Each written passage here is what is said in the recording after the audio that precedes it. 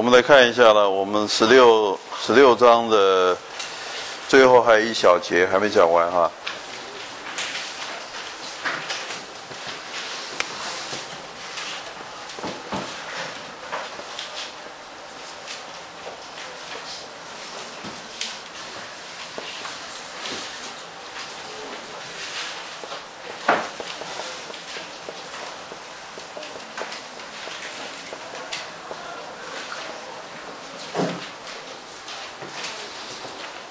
这一节谈的是相邻的两个啊，你在 t 的这个时间，t 加一的时间，t 加二的时间，很多时候我们在做实验的时候收集数据的，在前一次前一次 t 减一的时间点所收集到的结果呢，跟现在这一次。那现在这一次呢，就跟下一次，这相邻的两次啊，所收集到的情报、所收集到的资讯、所做的观察，他们彼此间呢有相关。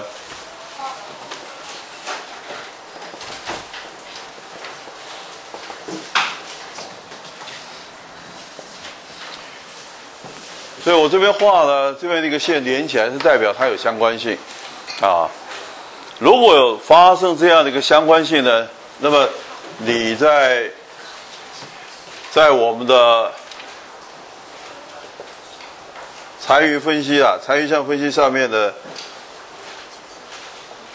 就会显示出了它会相邻两次。如果这是时间点的话呢，相邻两次呢，彼此间呢就有相关性。好比说，这个如果高，这个都也就跟着高，这个更高，那它们都是属于在上方的，所以彼此间会有一个相关性。啊，那如果你在下方的话呢，它也会呢呈现一种相关性。就所谓相关性说，你看看这边是低的，它的位置比较低，它的值比较低，它也会带动会影响下一个的值也会比较低。所以前后有相关的这种情形呢，把它叫做自相关，自己对自己的相关，就是一种 serial，一种呢连贯性，啊。Serial 的一种的相关性，啊，连续的。那有这样的现象发生的时候呢，当然违反的我们在回归残余项分析里头的四个基本假设当中的最后那一个。我们说所有的残余项一定要怎么样？常态分布，对不对？期望值为零，变异数固定，还有呢，互相独立。那那如果全部都要互相独立的话，你前后两个之间的相关，当然违背了它所有残余项都必须要都互相独立这样的说法了。啊，注意哦，这边是 y，y 与 y 之间如果有相关性的话，那当然它的残余项也会有相关。各位，你想想看，我们的 y 了？有同学可能问说，你这边的相关是 y 所做的相关？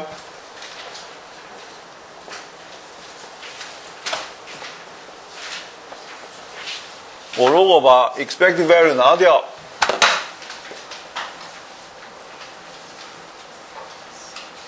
，y 跟自变数之间的关系还有一个 epsilon 在这里头。如果你 y 呢在第 t 个时间点跟第 t 加一个时间点是有相关的话，所以这个 y 跟下一个 y 有相关，所以这边的 epsilon 跟下一个 epsilon 当然也有相关。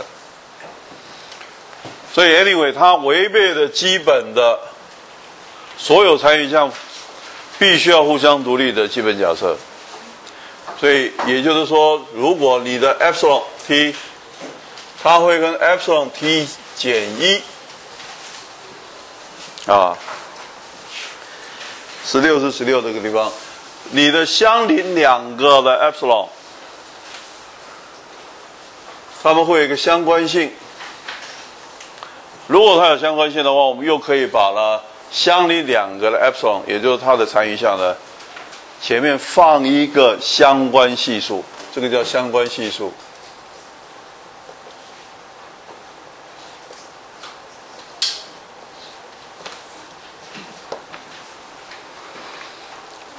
这个相关系数呢，代表是相邻两个残余项之间的一种相关的程度。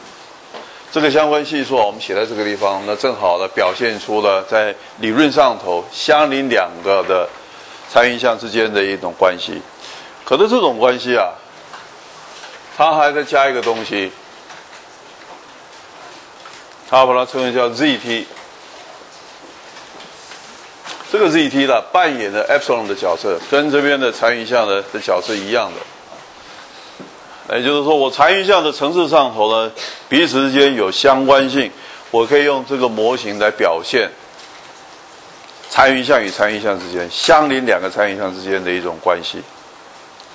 啊，原来这个地方是 y 层次上头的相关，是吧？各位同学，你看，我如果这边写个 t 的话呢，这边也要加个 t 啦。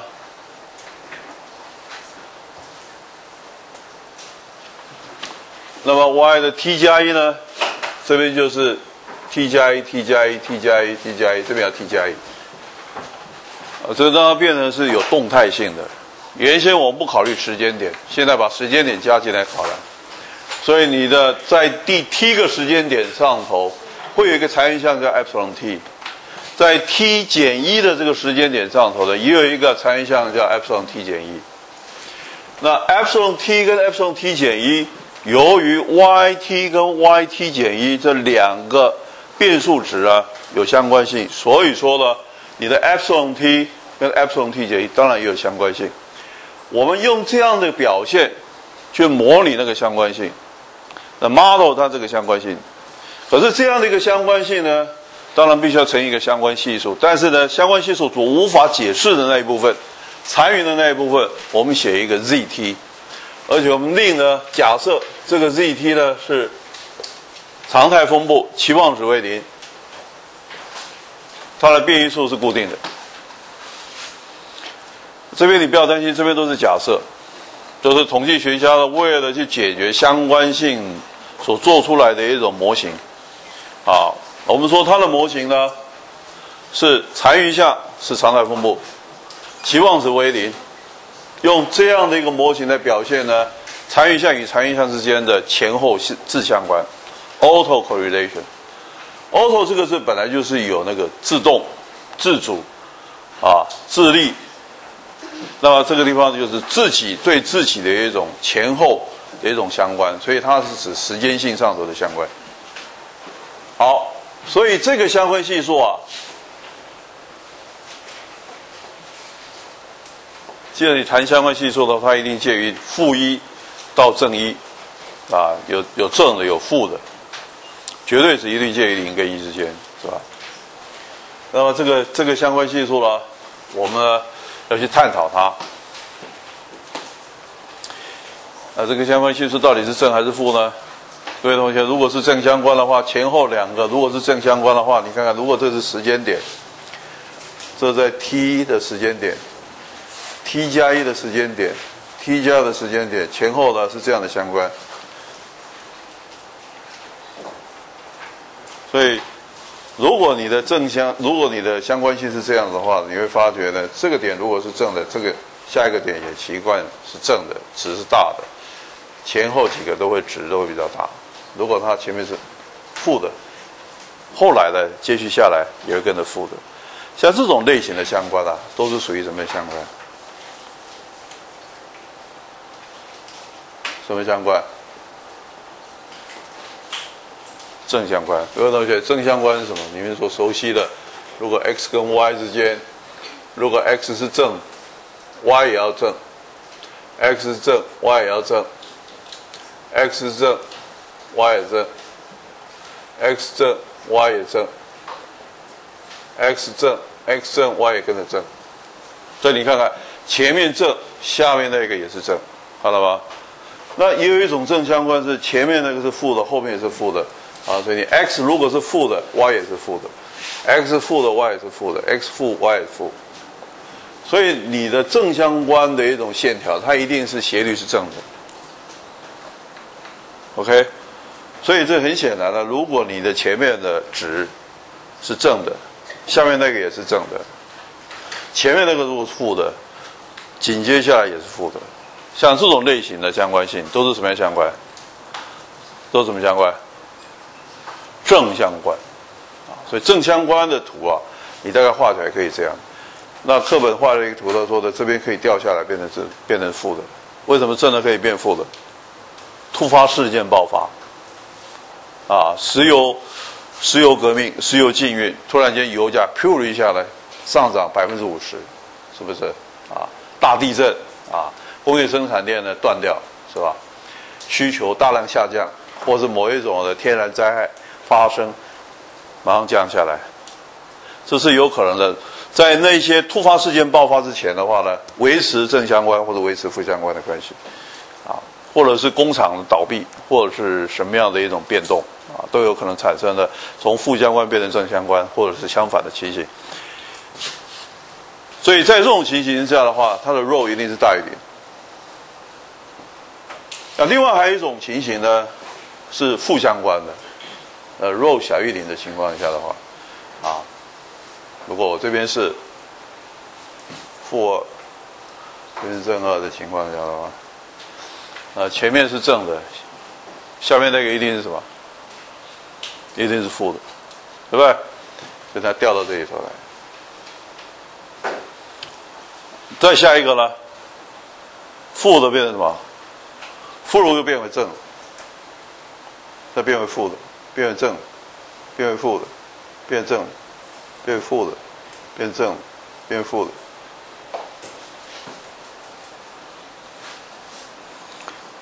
正变成负的，所以你看负相关的情形是，x 如果是负的，y 是正的；x 如果是负的，y 是正的；负的 y 是正，负的 y 是正，负的 y 是正。要不然就是 x 是正的，y 是负的，正负正负，x 是正的，y 是负的。所以你负相关的图形啊，画起来一定是斜率一定是负的斜率，是吧？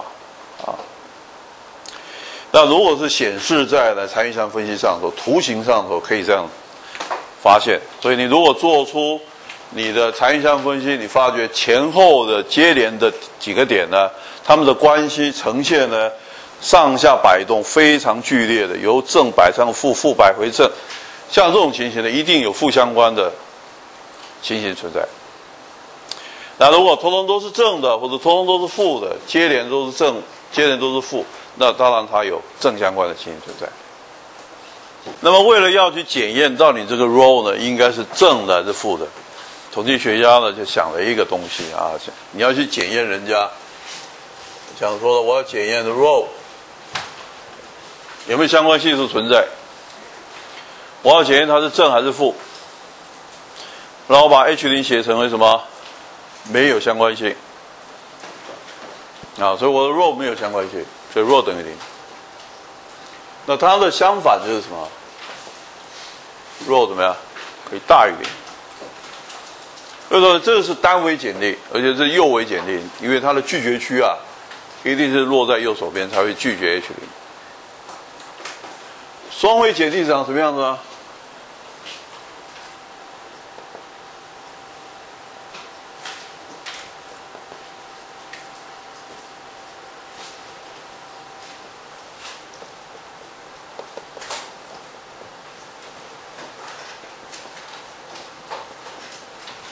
这是双尾检定，这是左尾，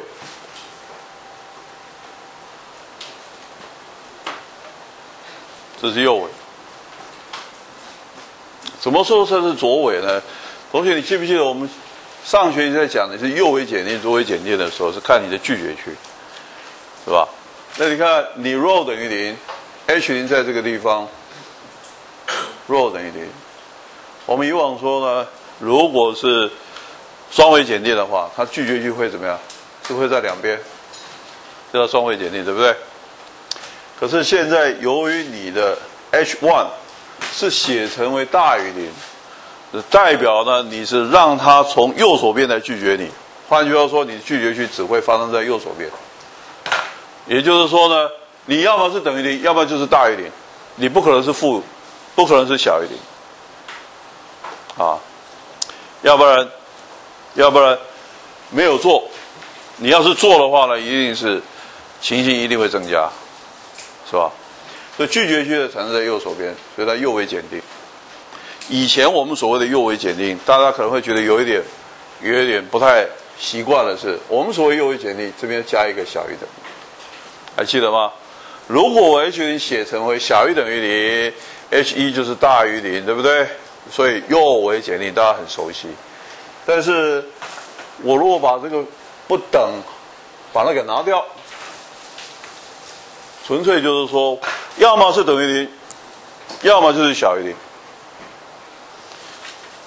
所以拒绝我 h 零的只有一种可能，不会是太大，也不会是太小，只会怎么样？只会太大，不会太小，不会是两种情形。那这个情形是什么？这个是说，rho 如果等于零，搞了半天我都没有麦克风，为啥和麦克风讲那么久？所以 R 等于零。要不然就是什么？要不然就是小于零啊，不会有大于零的情形啊，是吧？有有很多这种例子可以举的啊，就是说你要么就是没有相关，要不然就又有相关的话，一定是负相关，因为你做的越多，得的结果越少。那这个是浊微检定啊，浊微检定的话，如果 h 零在这个地方，那拒绝区在哪边？在这边。所以这个都是单维检定，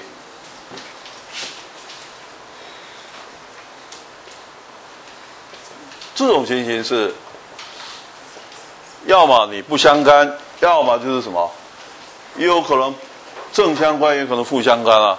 所以它的拒绝区啊，会呈现在左边或右边，所以它叫做双尾检定。OK 啊。所以这个三种情形，其实大家也熟悉的三种情形呢，左尾、右尾、双尾。但是确实呢，我们如果去检验的你有没有相关技术存在的话，确实也这种三种情形。好，那么统计学为了去确定到底是属于你是属于右为，你是属于正相关、负相关，或者是不相关，各位同学，这叫不相关，看到没？没有肉。肉不等于零，啊，这个是小于零，这是大于零，这个是这个不等于零的意思就是说你是有相关，但是它是什么样一个相关啊？有可能正相关，有可能负相关，都有可能。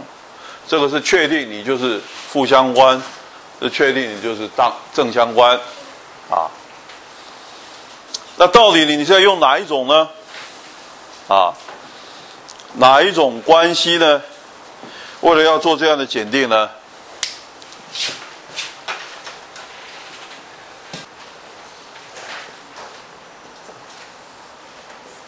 需要找一个检定统计数。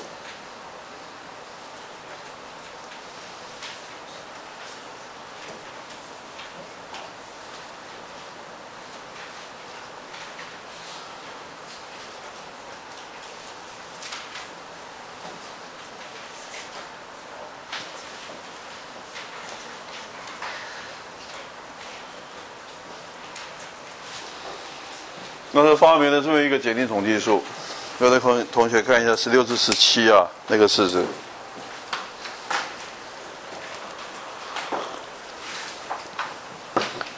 透过这个检定统计数啊，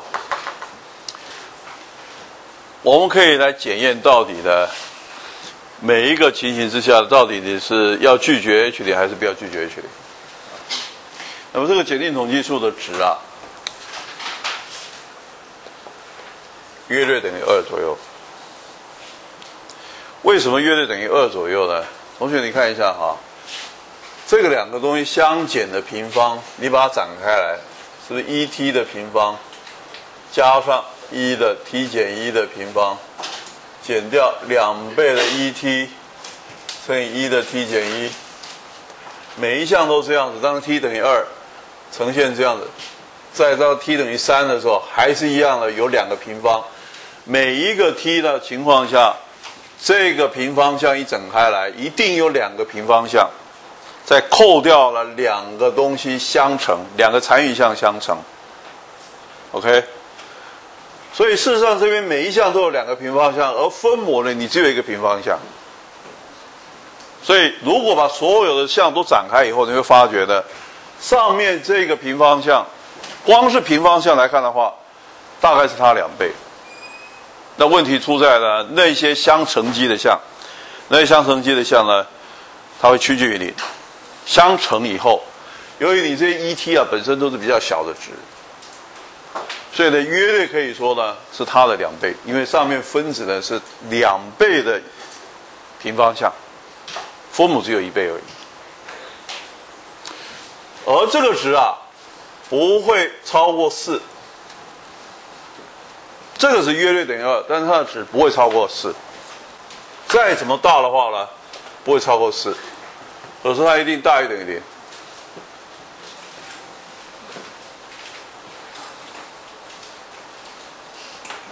所以统计学家发明出这样的一个检定统计数出来，他发觉这个检定统计数的值约略是在二左右，那值会介于零跟四之间。所以，如果这样来看的话呢，你发觉呢，如果这个值啊，你看，假设是正相关的话，你同学你看正相关，正相关的话前后都是约略相等，正相关或者前面都是正的，要不然前面都是负的。各位同学，你看，如果都是正相关的话，相邻两个相减，这个值大不大？大不大？不大。啊，然后再除以它，这个值不大。所以，如果是正相关的结果的话，你会发觉呢，如果是值相除起来的值是比较小的情况之下的话，它会是正相关。负相关的情况下，由于相邻两个一正一负相减之下的话呢，那个差距很大。所以你发觉，如果 Durbin-Watson 这个 test statistic 的值啊很大的情况下，你都会觉得它是应该什么？会研判那应该是属于什么相关？负相关。OK，啊，那如果不大不小的话，那个时候有时候就很难研判。所以先把这些概念记在脑海里头。我们来看一下呢，七百九十页这边，这边十六至二十有一有三个情况，大家看一看。第一个情况，你要去检验到底它是不是正相关的时候。所以这个时候，你的 H 零是 rho 等于零，你的 H 一是 rho 大于零，啊，那你要拒绝 H 零，也就是说你是正相关，所以你的 Durbin-Watson test statistic 一定是产生什么样的情形才会让你拒绝 H 零呢？拒绝它的情形是不是有一种？所以它是浊为检定，正相关的情况下。正相关，你要检验是正相关，它是浊为若若大于零，呃，对了，看起来是右为检定，但是呢，由于德本瓦森的值的关系呢，啊，它会呈现出啊，这个肉起来，我所谓的右尾是看肉但是现在呢，它的检定统计数不是看肉啊，所以这边呢，先前讲右尾左尾，只是它的就肉来讲。好，我们先先把这擦掉。事实上，你看右为检右为检定，左为检定，你应该看什么？你看它的检定统计数的值。现在你的检定统计数的值是什么？是，不是 x bar？是 Durbin Watson 这个 statistic，是看这个值。这个值如果小的时候是什么？正相关、负相关。小的时候是正相关嘛，啊，小的值一定是靠左边嘛，所以这应该是左尾检定，啊，老师刚刚写右尾值纯粹是看它的弱的值大小，但是检定统计数不是弱，啊，所以刚刚这边把它拿掉好了，免得以以那个引起混淆，所以德本瓦森会产生拒绝，是它的德本瓦森的值比较小。所以变成是一种浊微检定。所以你看一下七百九十页最上面那个 Panel A 的情形啊，当你的检定统计数的值落在 DL 以左，也就是从零到 DL，它是比较小的值，所以小到连 dL 都不到的时候呢，你会认为它应该是正相关。由于这个检定统计数式的值以及这个图，所以让我们相信，如果你得到的检定统计数的值是比较小的，小到连 D 二都不如，所以显然 D 二它是一个临界值，所以它是正相关。那如果呢不大也不小，介于 DL 跟 DU 之间，那是无法判断。那如果你的值呢是大到 DU 以上的话，然后超过二一路过去，最大的值不会超过四。如果超过 DU 的话呢，他就说根本没有证据显示它是正相关，所以根本不不可能认为它是正相关，不会有这样的情形发生。那现在你来看第二种情形呢？如果你是是检验检验这个，那这个呢？这个是要检验负相关，负相关的情形是这样子，这个情形一定是 Durbin-Watson test statistic 一定值会比较大，这个值比较大的话呢，所以你会产生拒绝啊，它会发生在右手边，所以它的右为检定。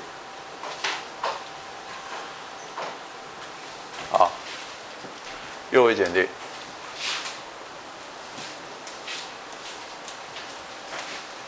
，OK，所以你看看它的拒绝区啊，会发生在呢比四减 DL 还要大，但是在什么大不会大过四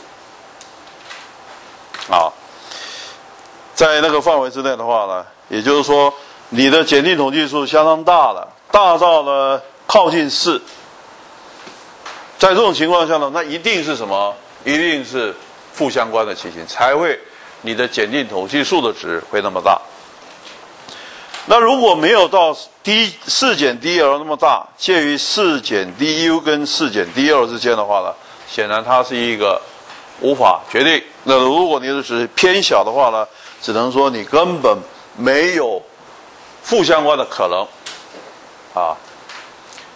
在这种情况下呢，你就做出这样的结论出来。那如果的你要检验的是双维检定的情况，各位同学，你看这是双维检定啊。那么它的拒绝区应该是两边太大或太小。那你看看，呃，它的值基本上都在二左右。什么情况下会让你呢？这个产生是正相关？什么情况让你产生会负相关？那纯粹还是一样的，一个是太大，一个是太小。太小的话就是正相关，太大的话是负相关。小小到多少？小到 DL 以以下，大大到四减 DL 以上，都可以分别得到正相关跟负相关的结论。如果在中间小一点，那么好比说 DL 跟 DU 之间，或者是四减 DU 和四减 DL 之间的话，这两种情形都是无从判断。只有在呢相当小，在二左右附近的时候呢，你才会认为说它根本没有相关性的可能啊。所以啊，你要做的事是什么呢？我们要做的事就是要从十六至十一，也就是七百八十九页那个那一页里头的底下的十六至十一的那个表，去解读出看看你现在的 DL 跟 DU 是多少。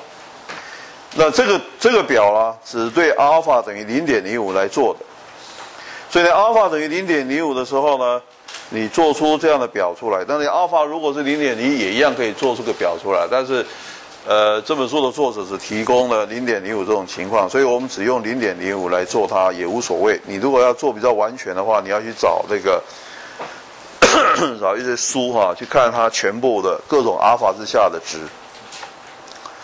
所以，如果我只有阿尔法等于零点零五，然后我的 n 呢，就是我的样本数，一定要十五以上，啊，你十五以下的话呢，这个 double Watson test 无法运作，所以它至少一定要十五个样本数以上，那么最多到一百，那么一个样本数给你，你向右边一扫过去，然后你就要选一个什么？选一个你的自变数看有多少个？你的自变数它也只提供到五个自变数。五个自变数以上的话呢，它这边没法提供了哈，所以这个地方呢，就是告诉我们啊，现在这个题目在这样的数据之下，你可以做出这样的方法出来，的研判到底有没有正相关或负相关。那么，如果我们能够透过这个表查出 DL 跟 DU 出来的话呢，我们就可以得到七百九十页呢，啊，看看你是做正相关检定、负相关检定或者双维检定，可以得到呢 DU 跟 DL 这样的临界值，然后呢去算出 Durbin-Watson 十六至十七那个式子的值。然后看那个值落在哪个地方，你就可以研判出到底结论是为何。这是整个德本瓦森的测试的背后的逻辑。那当然了，我们不会要求同学去做这个，因为你的你的那个 mini mini tab 里头啊有德本瓦森 test 啊。上回不知道同学有没有看到，你去按一下 regression，然后去找找那地方有一些。反正你不然找到两三下可以找到，Durbin Watson test 啊，那德文 Watson test 资料给他的话，自动帮你跑出来结论出来，所以这个大家不用担心啊。那么比较必须要再强调一下是七百九十一页上面第二段那个地方，他告诉我们说，如果你发生你你做德文 Watson test 所做的结果呢，你判断确实有正相关或负相关的情形存在的时候。也就是说，前后的数据它有相关性，那是严重的违反的残余项分析的第四个假设。残余项分析的四个假设，第四个假设说，所有的 epsilon 必须要互相独立。现在，如果你做出你发觉它有正相关或负相关，是代表它不是互相独立的，所以你一定要做了模型的调整。那我们说模型的调整呢？我们说 y 呢，本来的值 y，然后呢，它是等于模型所得到的 y 的期望值，再加上无法模型去解释的，所以这个是模型。因为这个东西等于。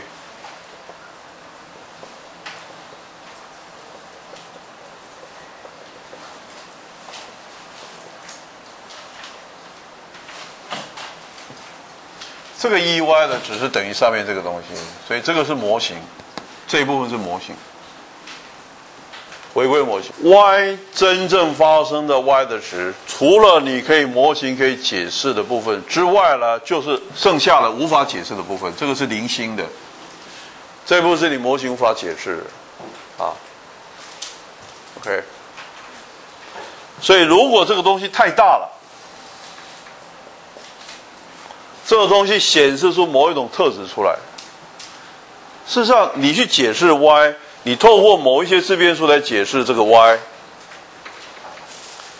如果这个 y 里头有时间性、有相关性，有哪些什么二次的 second order 的的这种 relationship，或者是 first order relationship，所有的 y 跟 x 间的关系，事实上应该放在这地方里头来做解释。你居然会在 epsilon 里头会发现有相关性，有时间相关性，也就是说你会发觉 epsilon t 和 epsilon t 减一之间有相关。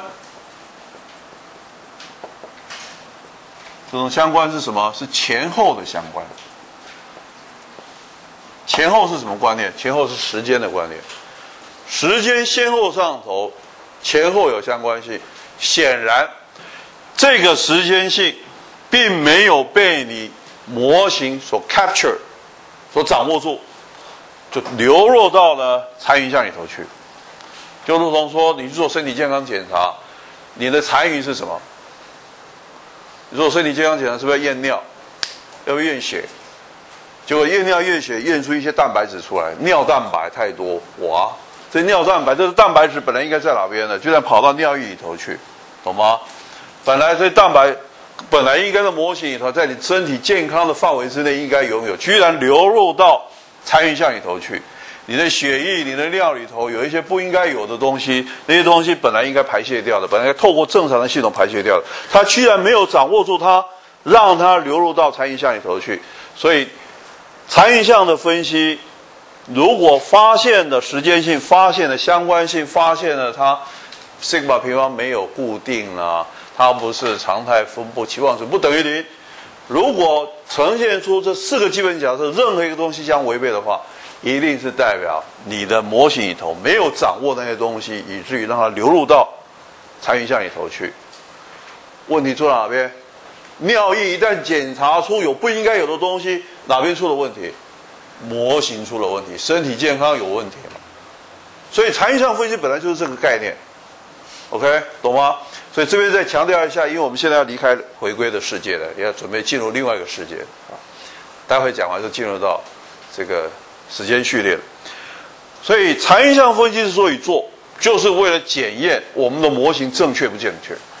就如同检查我们身体的排放出来的一些排泄物，可以发现我们身体健康与否。同样的道理，OK，啊，所以如果你发觉残余项里头有时间性的这种概念存在，也就是前后有相关的时候，这个时候要怎么克服它呢？好，课本提了两个对策。第一个对策，对你的自变数或是异变数呢去做转换，做 transformation。很像我们考试有道题目说，如果你发觉你的呃那个残余项的 variance 不是 constant 的情况下，各有两个对策，一个是什么？一个是对你的 y 做 logarithm，另外对策是什么？把你的 y 取导数，还记不记得？啊，所以这边也是一样，你可以去对你的自变数或是你的异变数去做各种转换。这是一个对策，另外还有一个对策是，就直接啊，直接在你的回归式里头，直接加一个 t，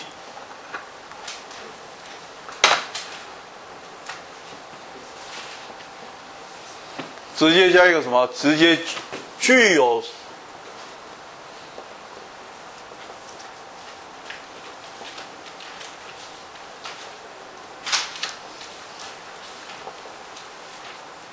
具有时间性的自变数，这这个时间时间性就是 time order，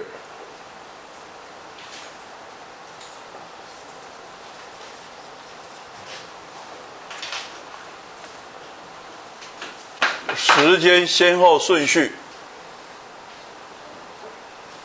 啊，时间序，时序。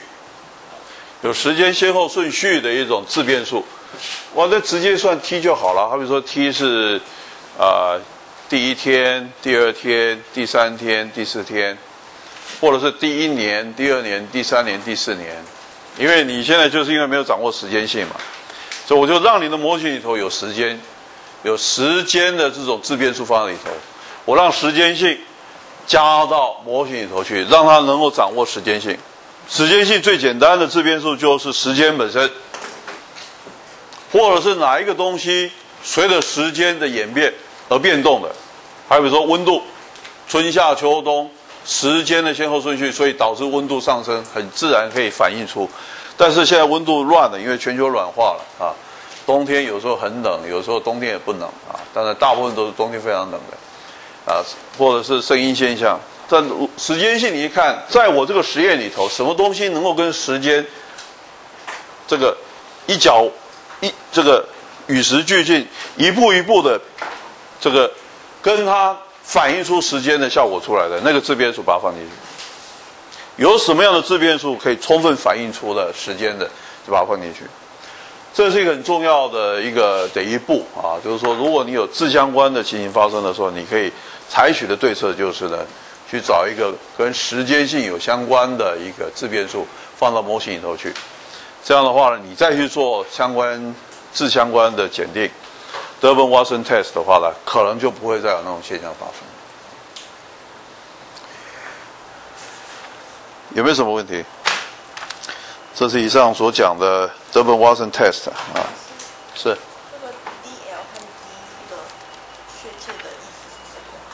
它就是个 lower bound 跟 upper bound，有点不懂。它就是两个两个临界值，啊，你看看这个图里头，也可以发现，L 就代表 lower，U 代表 upper，就是两个临界值，离下临界值跟上临界值，那这两个临界值可以切割出了几个区域出来。那看你的 Durbin-Watson test statistic 的值啊，你的检定统计数的值到底是落在哪一个区域里头，那就可以研判出到底你是要接受还是拒绝，是属于正相关、负相关啊这样的一个结论出来，或者是无从决定。他怎么算的？他怎么算？他这边没有说，因为这个是比较专门的领域。对不起，这个，这个他作者他呢，他提出他这个论文的时候呢，提出这种方法的时候，他有一些方法。但是呢，你只要你如果用他这个方法的话，你就只要去查这个表，得到这两个点出来就可以了。因为你这个表上头，它可以告诉你 dL 等于多少，dU 等于多少啊？你看到没？在哪边？在七百八十九页下面那个表啊。dL 跟 dU 是不是可以显示出？你只要告诉我 n 等于多少，阿尔法等于多少？当然，阿尔法这边都固定是零点零五，对不对？然后立刻查第二跟 dU 值出来。那他是怎么算出来？这个这个必须要去查问查论文啊，才能够才能够得到他到底怎么决定。还有没有什么问题？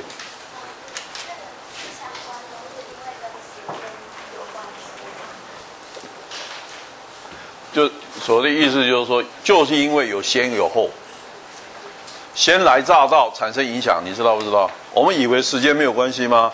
请问一下，你去做口试面试的时候，你要抢第一个还是抢啊最后一个？推升推升的时候，面试抽抽抽到啊，你是第一号，请问你是高兴还是还是紧张？还是觉得很很很不幸运？或者是抽到最后一个？越后面的越有利，还是越前面越有利？所以前后有没有关系？你自己说，是吧？很多的事情啊，前后顺序会产生呢，带来影响。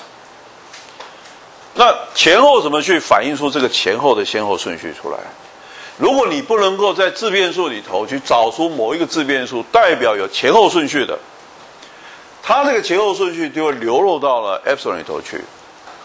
然后就会产生残余项，会有前后之间的相关的基因出来。那前后相关，当然它也违反回归残余项分析的第四个假设。所以你要去拯救它的话，一定要在模型里头把那个时间性呢反映出来，对不对？好，白天和黑夜有关系啊，是吧？所以时间先后，时间点在什么时候？都会影响到你跑出来的结果。OK，下课休息。